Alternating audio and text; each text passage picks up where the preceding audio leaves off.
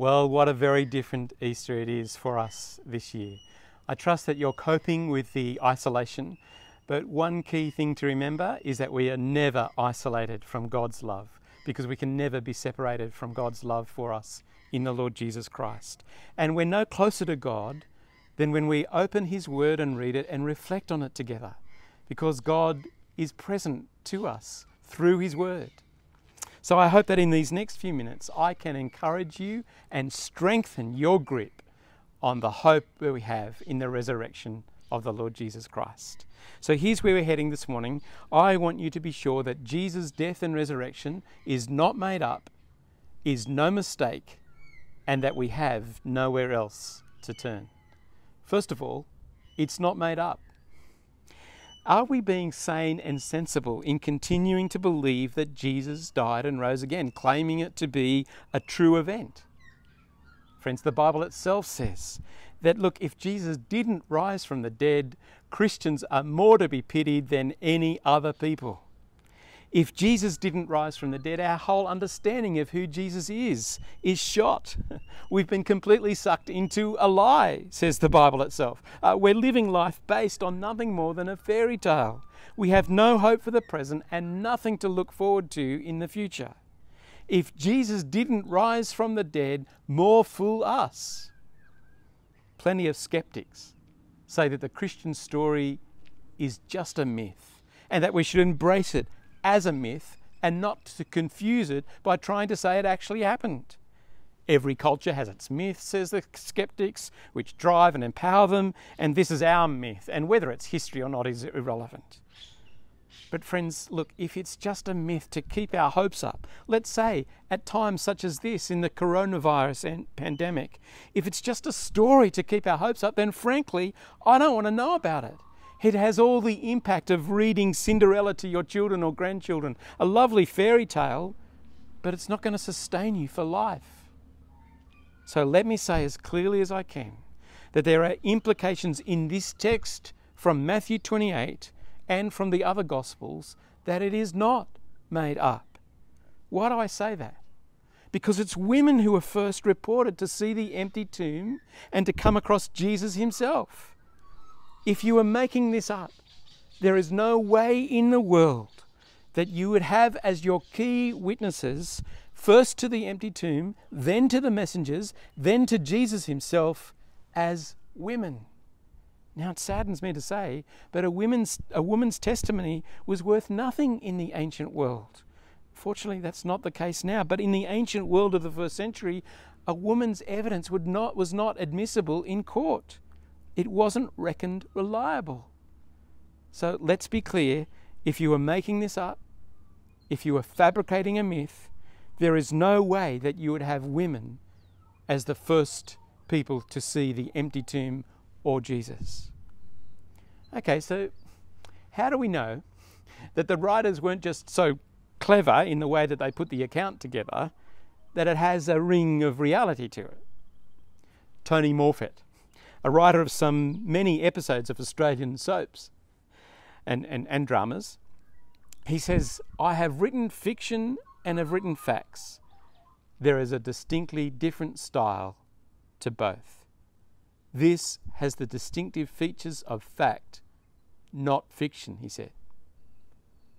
Charles Colson of the Watergate scandal. He says the whole success of Watergate revolved around everybody in the process sticking to the same story. Well, they didn't. Within 48 hours, it all fell apart. Charles Colson goes on to say, uh, How do you expect that 12 disciples, shattered because their leader had been taken, broken men, men who had locked themselves away because they thought they were going to be arrested and killed next, how do you expect that they rallied and became strong men of leadership and vision and put their lives on the, on the line and preached and wrote and were martyred, all for the sake of a fabricated myth. How did 12 men maintain the con story for so long, even to the point of death? Friends, Jesus' death and resurrection is not made up. I want you to be absolutely certain of that this Easter. It happened. This account is true, and Jesus is alive. And my salvation is not an imaginary salvation from an imagined problem, but a real rescue from an impossible situation that I was in before God. So it's not made up. That's my first take home point today. And secondly, the events of Easter were no mistake.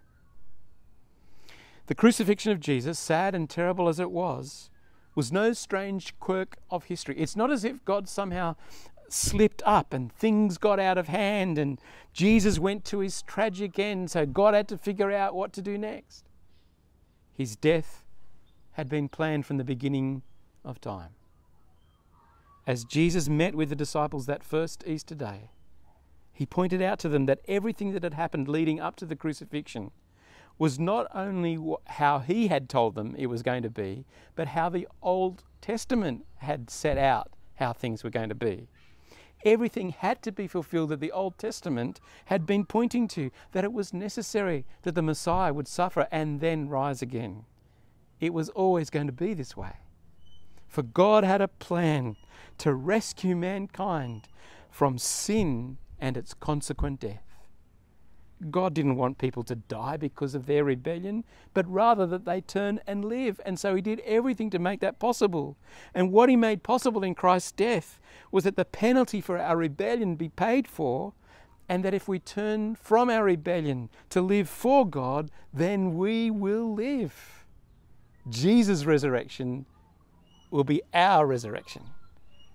It was the only way for God to put things right between us. Yes, that all happened. Happened in accord with the prophecy of the Old Testament written hundreds of years before. And it's another reason for believing that this thing is not, not a myth. It fits the Old Testament prophecy in greater detail than many of us realize. So it's not made up, it's no mistake, and we have nowhere else to turn. What do I mean by that? We do have nowhere else to go for hope and help and a future. If it was proved beyond all doubt tomorrow that Jesus stayed dead, then you have to know there is no Christianity. There's no hope for the future. There's no justice for the end. There's no answers to life's questions. There's no promise of peace. There's no chance of change. There's no strength for living. Friends, if D- Jesus didn't rise, it's all lost. Everything hangs on this. There was a time in Jesus' ministry when the things he'd been saying were just too hard for some of those who were hearing to keep going. And they began to walk away. Jesus turns to the 12 who are closest and he says to them, You don't want to leave too, do you? And they said, Where else have we to go? You alone have the words of eternal life. There is nowhere else to go.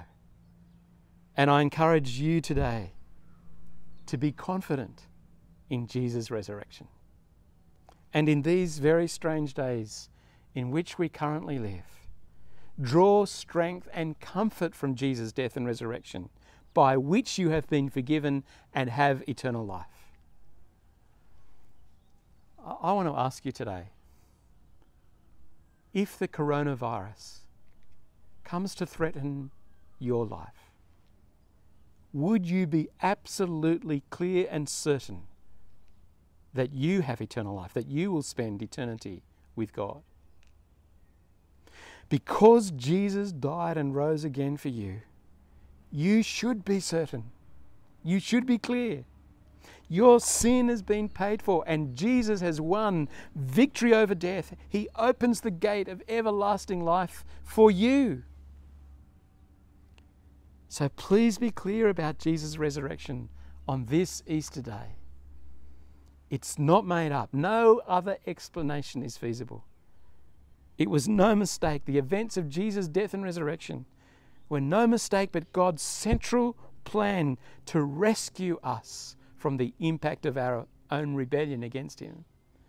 And there is nowhere else, there's nowhere else to turn but in Jesus. we have hope and life and peace and comfort and joy. Happy Easter. He is risen. Let's now come before God in prayer, our great God who loves to hear us. Let us pray for the church and for the world.